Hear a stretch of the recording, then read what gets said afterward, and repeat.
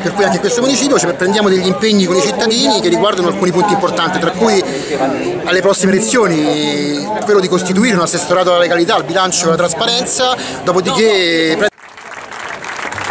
Allora, andiamo adesso mm, qui sul palco. Più di, die, più di dieci anni, quindi ci conosciamo con molti di voi e, e anche la conoscenza col Movimento 5 Stelle è risalente, nel senso che storicamente io mi sono prestato a fare l'autenticatore a molte proposte di legge quando il Movimento 5 Stelle non esisteva qui. Esistevano, mi ricordo, gli amici di Beppe Grillo.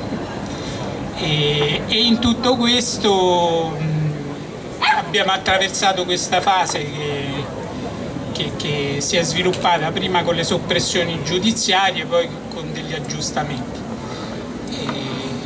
Quello che, che abbiamo vissuto a Ostia è una cosa abbastanza anomala con l'ufficio che era rappresentato da me, perché nel 2012 ne è stata prevista la soppressione dal territorio e nel 2014 il reinsediamento. Quello che è successo in mezzo quello che è successo in mezzo è una specie di romanzo, eh, perché dire che si è lavorato in situazioni disagiate è poco. Eh, quello che è interessante è la domanda se c'entra qualcosa ehm, la desertificazione eh, del territorio. Le istituzioni se ne vanno e può entrare qualche organizzazione di tipo diverso. Io non lo so perché non mi occupo dei massimi sistemi, probabilmente c'è un discorso di immagine che diamo a una collettività, no?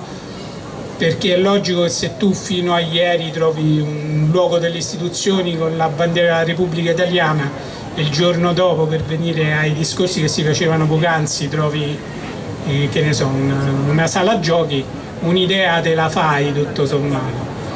E uno spunto di riflessione viene forse a questa frase che sta scritta qua dietro, cioè se in effetti il discorso del, delle istituzioni, della, dello Stato e della mafia è un discorso di, di convivenza tra sostanze separate come l'acqua e olio un, dentro un bicchiere dove una respinge l'altra o se piuttosto in una fase storica diversa c'è stata una commistione, un mescolamento, per cui forse oggi è il momento di parlare di bonifica. Quello che so e che è certo è che la legalità in sé è un metodo, semplicemente un metodo, non è un valore su cui intestarsi crociate antimafia per non dire cose divisive. Allora se è un metodo, ben vengano le carte della legalità con i contenuti, è un metodo, sviluppiamolo semplicemente, applichiamolo estensivamente a tutti i campi,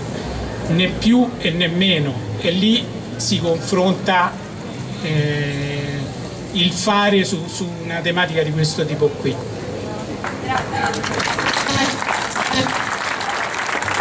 Allora, andiamo adesso qui sul palco.